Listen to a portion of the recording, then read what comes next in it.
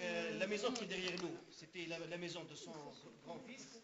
L'autre maison, c'est le deuxième, le second. Il avait un troisième qui habite à l'extrémité des 450 hectares.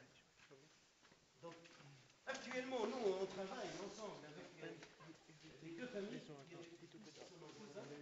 Donc mon voisin, il élève les poulets avec moi. Ma voisine, euh, Saïd, c'est elle qui accueille les élèves lorsqu'ils viennent pour leur montrer comment on fait la traite